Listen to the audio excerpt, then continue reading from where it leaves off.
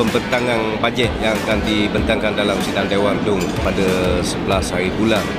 uh, Disember nanti saya mengharapkan supaya satu pembentangan bajet yang uh, menyeluruh lah bagi memastikan kesejahteraan rakyat. Apatah lagi uh, saya mengharapkan supaya portfolio kesihatan pembangunan wanita, keluarga dan masyarakat negeri akan memperolehi satu peruntukan yang luar biasa lah kerana portfolio kesihatan pembangunan keluarga dan masyarakat ini merupakan satu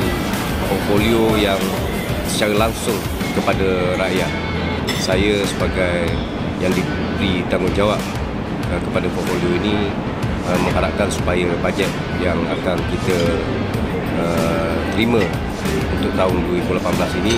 akan memastikan bahawa bajet ini terus uh, kepada rakyat